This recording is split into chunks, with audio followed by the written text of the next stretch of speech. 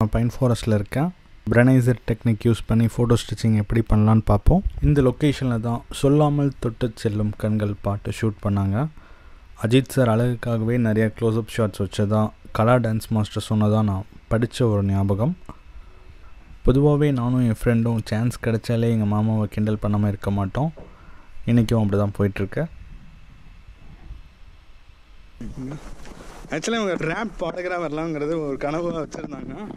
But குடும்ப வறுமை. So guys நம்ம நம்ம ஸ்பாட்டை நெருங்கிட்டோம்.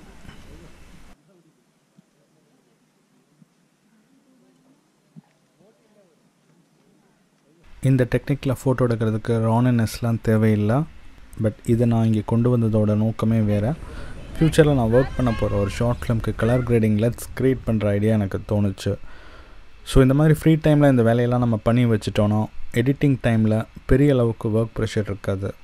Sony A six three double zero கேமராவோட S log modes video bit rate dynamic range இதெல்லாம் எடை போடவும் எனக்கு இந்த வீடியோஸ் ரொம்ப ஹெல்ப்ஃபுல்லாக அமைஞ்சது. இப்போ நீங்கள் பார்த்துட்டு இருக்கிற கிளிப்பிங்ஸ் எல்லாமே Sony A six three double zero கேமராவில் எடுத்தது. ஓகே கைஸ் இங்கே என்னோடய விளையாட்டு நேரம் முடிஞ்சது. இப்போ நம்ம டுட்டோரியலுக்கு போகலாம் ஸோ இதுதான் நம்ம ஸ்பாட் நம்ம இப்போது இங்கே இருக்கோம். ஸோ கைஸ் இப்போ நம்ம யூஸ் பண்ண போகிற டெக்னிக் பேர் பிரெனைசர் டெக்னிக் இது ரொம்பவே பாப்புலரான டெக்னிக் இதில் நம்ம என்ன பண்ண போகிறோன்னா ஒரு டெலி லென்ஸ் யூஸ் பண்ணி ஒரு போர்ட்ரேட் எடுக்க போகிறோம் பட் ஃபோட்டோ ரிசல்ட் ஒரு வைட் ஆங்கிள் லென்ஸில் எடுத்த மாதிரி இருக்கும். நான் தெளிவாகவே சொல்லிடுறேன். ஒரு டெலி லென்ஸ் நம்ம யூஸ் பண்ணி ஃபோட்டோ எடுக்கும்போது நம்ம சப்ஜெக்ட்க்கு பின்னாடி இருக்கிற பொக்கே எப்படி இருக்கும்னு உங்கள் எல்லாருக்கும் தெரியும். லாங் ஃபோக்கல் லென்த் யூஸ் பண்ணும்போது இந்த மாதிரி பேக்ரவுண்ட் பொக்கே நம்ம அச்சீவ் பண்ணுறது ரொம்ப இயல்பு. ஆனால் நான் ஃபோட்டோ எடுக்க விரும்புகிற மொத்த அழகான இடமும் என்னால் ஒரு ஃபோட்டோவில் கவர் பண்ண முடியல. அதாவது என் கண்ணால் பார்க்குற அழகான காட்சியை என்னோடய கேமராவில் ஒரு சிங்கிள் ஃபோட்டோவாக எடுக்க முடியல. சரி அப்போது ஒரு வைட் ஆங்கிள் லென்ஸ் யூஸ் பண்ணால் பிரச்சனைக்கு தீர்வு கிடச்சிரும்னு பார்த்தா வைட் ஆங்கிள் லென்ஸ் யூஸ் பண்ணி எடுத்த ஃபோட்டோஸில் பேக்ரவுண்ட் பொக்கே சுத்தமாக இல்லாமல் போயிடுச்சு. அப்போது இதுக்கு என்ன தான் தீர்வு?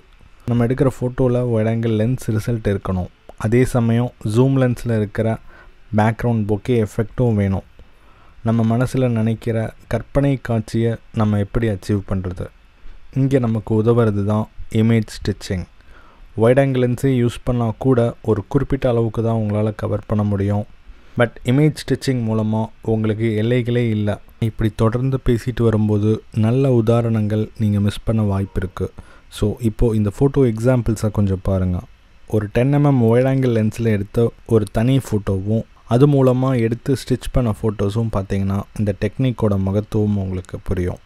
நீங்கள் பார்க்குற இந்த ஃபோட்டோஸ் சாதாரண ஒரு Nikon D three five double zero கேமராவோட Nikon ten to twenty MM lens use பண்ணி எடுத்த ஃபோட்டோஸ் ஸோ வாங்க ஃப்ரெண்ட்ஸ் ஒரு என்ட்ரி லெவல் கேமராவில் எடுத்த ஃபோட்டோவோட ரிசல்ட் எப்படி இருக்குன்னு நாமளே கொஞ்சம் செக் பண்ணி பார்த்துடலாம் ஸோ இப்போ இந்த பொண்ணு நிற்கிற ஏரியாவை கொஞ்சம் ஜூம் பண்ணி பார்க்கலாம் ஸோ இமேஜ் ஷார்ப்னஸ் ரொம்ப நல்லாவே இருக்குது ஒரு என்ட்ரி லெவல் கேமராவில் நிச்சயம் இது ஒரு நல்ல ரிசல்ட்டு தான். ஸோ இங்கே பார்த்தீங்கன்னா உங்களுக்கு புரியும். நம்ம மல்டிபிள் இமேஜஸ் ஸ்டிச் பண்ணி இவ்வளோ பெருசாக உருவாக்கியிருக்கோம். ஸோ ஃபோட்டோ ஸ்டிச்சிங் டெக்னிக் மூலமாக நம்ம கற்பனையில் நினைக்கிற காட்சிகளுக்கு எந்த அளவுக்கு உயிர் கொடுக்க முடியும் அப்படிங்கிறத நீங்கள் இந்த இடத்துல புரிஞ்சிருப்பீங்கன்னு நான் நம்புகிறேன் அப்புறம் இந்த இடத்துல உங்களுக்கு ஏதாவது புலப்படுதா? ஆக்சுவலாக அங்கே ஒரு எல்லோ கலர் டிஷர்ட்டில் ஒரு ஜென்டில்மேன் மொபைல் பேசிகிட்டு இருக்காரு. ஜூம் பண்ணி பார்த்தா உங்களுக்கு தெரியும். அப்போது பெனைசர் டெக்னிக்குன்னு சொன்னேனே அது என்னன்னு கேட்குறீங்களா சப்ஜெக்ட் இல்லாமல் இப்போ நீங்கள் பார்க்குற இந்த ஃபோட்டோஸை சப்ஜெக்ட் இல்லாமல் ப்ளைனாக இந்த மாதிரி மல்டிபிள் ஃபோட்டோஸாக எடுத்து ஸ்டிச் பண்ணுறத ஃபோட்டோ ஸ்டிச்சிங்னு சொல்கிறோம் இதே கொஞ்சம் வேறு விதமாக ஒரு சப்ஜெக்டை உள்ளே நுழைச்சி சப்ஜெக்ட்க்கும் பேக்ரவுண்டுக்கும் நல்ல ஷேலோ டெப்த் ஆஃப் ஃபீல்டு இருந்தால் அது பிரெனைசர் டெக்னிக்னு சொல்லுவோம். இந்த ஐடியா யூஸ் பண்ணி இதை பாப்புலர் பண்ணவர் பிரெனைசர் அதனால் இந்த டெக்னிக்கை அவரோட பேர்லேயே அழைக்கிறாங்க. வேடிக்கை என்னென்னா ரெண்டாயிரத்தி பதிமூணில் இப்படி ஒரு டெக்னிக் இருக்குன்னு தெரியாமலே இந்த டைப்பில் நான் சில ஃபோட்டோஸ் எடுத்திருக்கேன். பிரெனைசர் டெக்னிக் பற்றிலாம் நான் இப்போ ரீசெண்டாக தெரிஞ்சுக்கிட்டது தான். ஸோ இப்போ உங்கள் எல்லாருக்கும் ஃபோட்டோ ஸ்டிச்சிங்னா என்ன? பிரெனைசர் டெக்னிக்னா என்ன? ரெண்டுக்கும் உள்ள வேறுபாடுகள் உங்களுக்கு புரிஞ்சிருக்கும்னு நம்புகிறேன் இப்போ மறுபடியும் நம்ம விட்ட இடத்துல இருந்தே போவோம். கையோட உங்களுக்கு இன்னொரு சிறப்பான செய்தியும் இங்கே சொல்லிக்கிறேன். இந்த மாதிரி ஃபோட்டோஸ் எடுக்க five D mark four Sony A seven R three இந்த மாதிரி எக்ஸ்ட்ரீம் ப்ரொஃபஷனல் கேமராஸ்லாம் நீங்கள் யூஸ் பண்ணணும்னு இல்லை. நான் இன்றைக்கி யூஸ் பண்ணுறது ரொம்ப சாதாரண ஒரு Canon thousand three hundred D camera தான். லென்ஸும் fifty five to two fifty MM basic zoom lens தான். இதோட ரிசல்ட் எப்படி இருக்குன்னு நம்ம பார்த்துருவோம். என்னோடய camera settings ISO two hundred shutter speed one twenty five aperture F nine focal length ninety MM crop சென்சரில் ninety MM so இது one thirty five எம்எம்க்கு சமம். நான் ஃபஸ்ட்டு ஃபோட்டோ எடுத்து முடிச்சோன்னே என்னோடய ஃபோக்கஸை மேனுவல் ஃபோக்கஸ்க்கு செட் பண்ணிட்டேன். இப்போ ரிமைனிங் ஃபோட்டோஸை கண்டினியூஸாக நான் எடுக்க ஆரம்பிச்சிட்டேன்.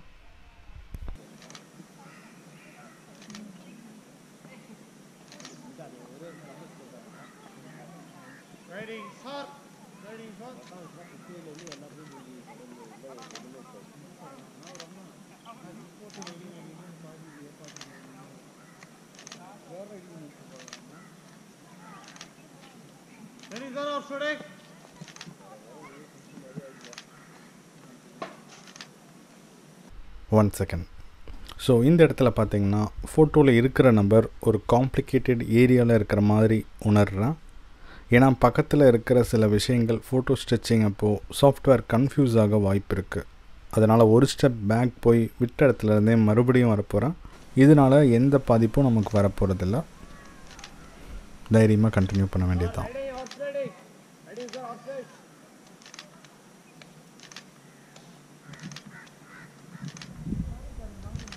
பக்கத்தில் வந்து நிற்கிறவர் என்கிட்ட ஏதோ பேசுகிறதுக்காக வந்திருக்காரு. அதை பார்க்காம நான் பாட்டுக்கு ஃபோட்டோ எடுத்துகிட்டே இருந்திருக்கேன்.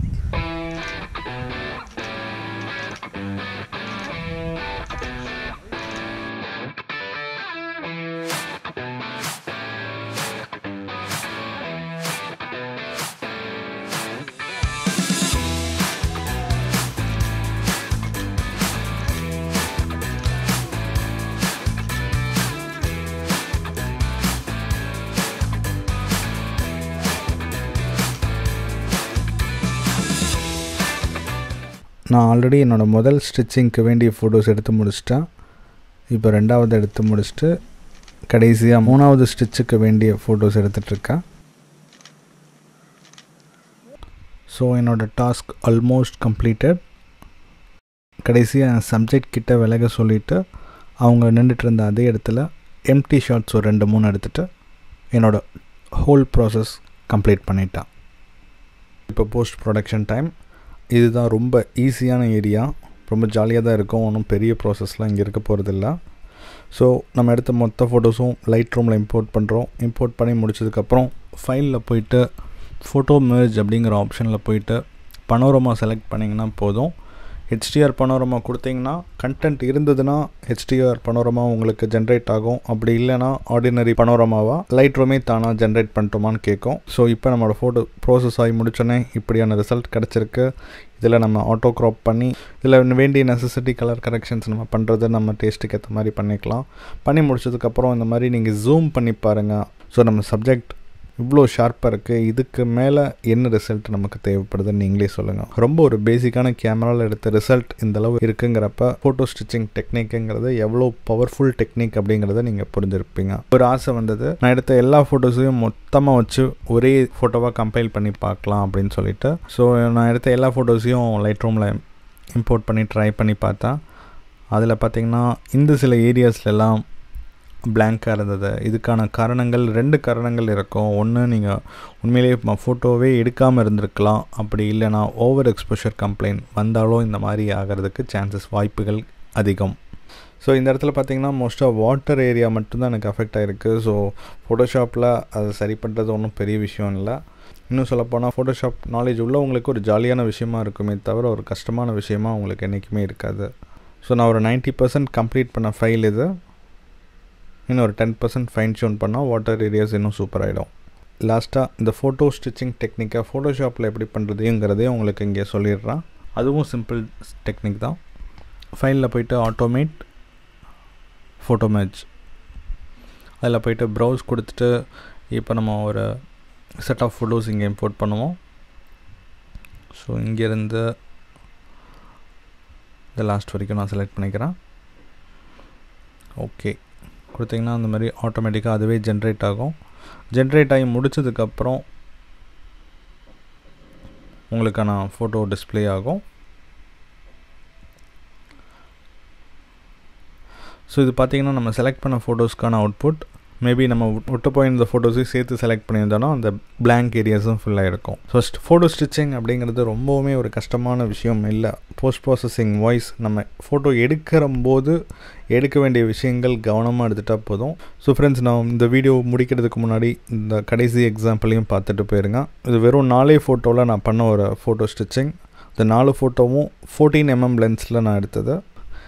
இந்த இடத்துலையும் உங்களுக்கு ஒரு நல்ல பாயிண்ட் நான் சொல்ல போகிறேன் அது என்னென்னா இப்போ பாருங்கள் என்ட்ரன்ஸை நான் கவர் பண்ணுறதுக்கு என்னால் எவ்வளோ பின்னாடி போக முடியுமோ போயிட்டேன் ஸோ இந்த இடத்துல உங்களுக்கு ஒரு கேள்வி வரலாம். ஏன் இன்னும் கூட ஒரு அடி பின்னாடி போகலாமே அப்படின்ட்டு. பட் நான் எக்ஸாக்டாக அந்த இடத்த நான் தேர்ந்தெடுத்ததுக்கான காரணம் இப்போ சொல்கிறேன் நம்ம ஃபோட்டோவோட முக்கியமான கான்செப்டே எனக்கு எடுத்தோன்னே என் பக்கத்தில் இருக்கிற அந்த தரையாகட்டும் இல்லை லாங்கில் இருக்கிற லீமெரிடியன் பில்டிங் ஆகட்டும் ரெண்டுமே துல்லியமான ஃபோக்கஸில் இருக்கணும். இதை நம்ம எப்படி அச்சீவ் பண்ண போகிறோம் அதை தான் இப்போ பார்க்க போகிறோம் முதல்ல என்னோடய ஷார்ட்ஸை நான் ரானனஸ் யூஸ் பண்ணி கம்போஸ் பண்ணிக்கிறேன். இதை நீங்கள் ரானனஸில் தான் கம்போஸ் பண்ணணும்னு இல்லை வெறும் கையில் கூட பண்ணலாம். பட் எனக்கு இது ஈஸியாக இருக்குது one two three four so இதை நம்ம லைட் ரூமில் கம்பேர் பண்ணும்போது இந்த மாதிரியான ஒரு ரிசல்ட் கிடைக்கிது. இதை நம்ம ஃபைன் டியூன் கலர் கிரேடிங் எல்லாம் பண்ணி முடிச்சதுக்கப்புறம் ஃபைனல் அவுட்புட் இப்படி இருக்குது இதில் ஹைலைட்டான விஷயம் என்னன்னு கேட்டிங்கன்னா ஓவரால் ஃபோக்கஸில் இருக்குது எடுத்தது நாலு ஃபோட்டோனாலும் எடுக்கிற நாலு ஃபோட்டோவையும் அக்யூரேட்டாக ஃபோக்கஸ் பண்ணி எடுத்திருக்கோம். ஸோ இப்போ கொஞ்சம் ஜூம் பண்ணி பார்க்கலாம். இப்போ இங்கே பார்த்தீங்கன்னா இந்த ஃப்ளோர் கிளியர் ஃபோக்கஸில் இருக்குது இப்போ ஜூம் அவுட் பண்ணிவிட்டு இப்போ இங்கே இருக்கிற போர்டு சைன் போர்டை நம்ம ஜூம் பண்ணணும். அதில் இருக்கிற விஷயங்களும் நம்மளால் ஸ்டடி பண்ண முடியும். அப்படியே லெஃப்ட் சைட் கொஞ்சம் வந்தோன்னா அங்கே இருக்கிற லாபிங்கிற சைன் போர்டையும் நம்மளால் ஸ்டடி பண்ண முடியும். மேபி இந்த வீடியோவில் நீங்கள் படிக்க முடியுதான்னு தெரியல பட் என்னால் ஃபோட்டோவில் படிக்க முடியுது. ஸோ இந்த சைட் பார்த்திங்கன்னா பேஸ்மெண்ட் பார்க்கிங் கிளியராக விசிபிளாக இருக்கா. அதே அதே மாதிரி ஃபோட்டோலோட நேம் போர்டும் நீங்கள் ஜூம் பண்ணி பார்த்தீங்கன்னா எல்லாமே ஒரு கிளியர் ஃபோக்கஸில் இருக்கும். மேபி காம்போசிஷன் வைஸ் இது ஒரு நல்ல ஃபோட்டோவாக இல்லாமல் இருக்கலாம். பட் நம்மளோட நோக்கம் என்ன அப்படிங்கிறத இந்த ஃபோட்டோவில் நம்ம அச்சீவ் பண்ணிட்டோம். ஒருவேளை காம்போசிஷனுக்கு ப்ரிஃபரன்ஸ் கொடுத்துருந்தா இப்படி இருக்கிற ஃபோட்டோவை நான் இந்த மாதிரி எடுத்திருப்பேன். மேபி நெக்ஸ்ட் டைம் நான் விசிட் பண்ணும்போது இந்த மாதிரி ஒரு ஃபோட்டோ எடுக்க நிச்சயம் ட்ரை பண்ணுவேன். நான் ட்ரை பண்ணுறது இருக்கட்டும் இப்போது இந்த டெக்னிக் யூஸ் பண்ணி நீங்கள் இப்போ ஃபோட்டோ எடுக்க போகிறீங்க ஃபோட்டோ ஸ்டிச்சிங் டெக்னிக் யூஸ் பண்ணியிருந்தாலோ இல்லை பிரெனைசர் மெத்தட் யூஸ் பண்ணி போர்ட்ரேட்ஸ் எடுத்திருந்தாலோ கண்டிப்பாக கமெண்ட்ஸில் அவங்களோட எக்ஸ்பீரியன்ஸஸை ஷேர் பண்ணுங்கள் ஸோ நம்ம எல்லோரும் வேறு ஒரு நல்ல வீடியோவில் மறுபடியும் மீட் பண்ணுவோம். அது வரைக்கும் உங்களிடமிருந்து விடைபெறுவது ராகுல் சைனிங் ஆஃப் டீச் பண்ணிட்டு வரேன். இப்போ நம்ம ஸ்டார்ட் பண்ணலாம். ஹாய் ரெண்டு பசங்க என்னமோ கேட்கணும்